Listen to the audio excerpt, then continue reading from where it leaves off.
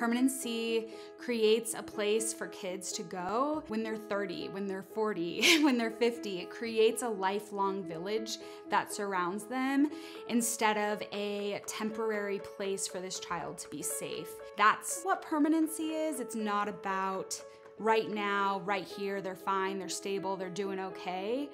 It's about families having that sense of belonging.